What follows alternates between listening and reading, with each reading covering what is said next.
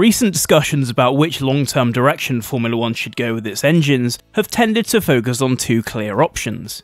On the one side, there's committing to hybrids, an internal combustion engine with extra battery power allied to greater advances in more sustainable fuel. This is the option that F1 has taken. Then there has been much talk about going all electric further down the road, but the fact that battery power technology cannot propel a 200 miles an hour racing car for 2 hours at flat out speeds as well as the fact that Formula E has a 25 year exclusivity contract for single seater electric racing, means that this is now a non starter for Formula 1. But there is a third option that has been quietly bubbling away in the background hydrogen power.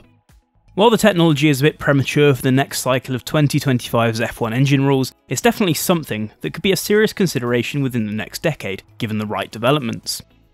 The recent announcement that Red Bull Advanced Technologies is to collaborate on the design of the chassis concept for a hydrogen fueled Le Mans sports car has reignited interest in the topic, and prompted some fresh thoughts about whether it could be viable for F1. After all, it's still an electric powertrain, but hydrogen offers a different way of producing charge, presumably not cross pollinating with FE's exclusivity deal. Red Bull is to work then with French racing car constructor ORECA on the creation of what's known as the H24 concept, which aims to run a hydrogen class of cars at the 2024 Le Mans 24 Hours. If the ambitious plans are successful, then it will open up a world of opportunity in creating a high performance racing car that will produce zero carbon pollution. In fact, the only byproduct from the hydrogen powered car is water. And so here it is again, the long awaited return of science time. Now, hydrogen is the most abundant chemical element in the universe, in terms of mass, hydrogen makes up around 75% of everything, but in terms of molecular quantity, it's closer to 89%.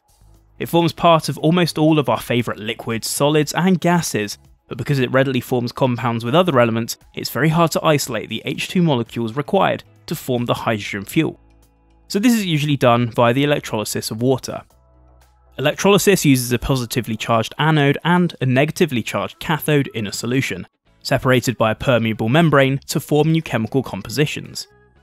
At the anode, the hydrogen and oxygen split to form hydrogen ions, free electrons, and oxygen. The H plus ions and the electrons then join forces to form H2 gas, to be packed up and used in a fuel cell.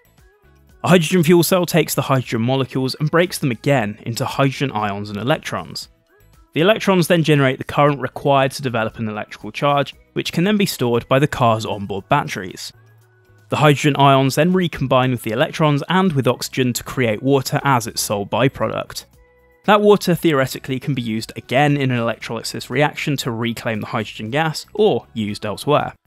Although there are many different types of fuel cell, they all generally work on that principle, multiple cells can be combined in various different ways to deliver different levels of current or voltage depending on the purpose. For Extreme E, this is done externally to plug in and charge the batteries on board the car, but future hydrogen electric cars, as used in the proposed Hyrace series, will eventually have an onboard fuel cell and a hydrogen tank in order to produce that reaction internally.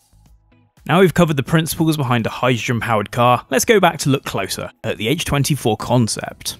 The H24 car is a serious piece of kit, aiming for around GT3 levels of performance in its initial incarnation. It will aim to produce around 550 kilowatts, around 730 horsepower at 17,000 RPM, with it reaching a maximum speed of 300 km an hour, or around 186 miles per hour. Its acceleration from 0 to 100 km an hour will be around 3.4 seconds, which compares to F1's 2.3 seconds and Formula E's 2.8 seconds.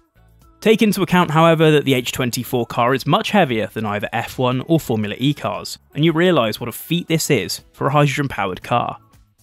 The electric motor will be direct drive, which means no gear shifting, no clutches, and no differential.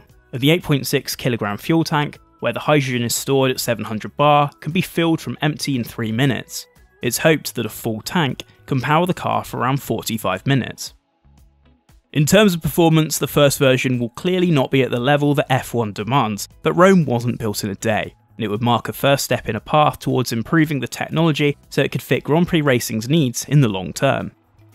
This means not only steps forward in pace, but also how far the car can run. A 3 minute pit stop to fill up the tank isn't very F1, but who knows how far that number might drop, or how far one tank of hydrogen fuel could last an F1 car in the future. While hydrogen still has some way to go at the moment, there is definitely interest from manufacturers around the concept. Turning water into fuel to power a car, whose only byproduct is more water, sounds something amazing for sustainable motorsport. But beyond the idealism, in practical terms, there are big hurdles to overcome. First of all, the technology will need to guarantee F1 levels of performance if it's to have a realistic hope of getting the nod over hybrids. Then, even if hydrogen power units get such performance within the next decade, there will be costs. One of the realities that F1 needs to address, and got wrong with the current hybrid rules, was in focusing only on the technology itself rather than real world considerations, like the money that manufacturers needed to spend to be competitive. Right now, hydrogen is not the answer for Formula 1. Instead, its plan for a sustainably fueled hybrid powertrain is one that ticks boxes for teams, manufacturers, and sponsors alike.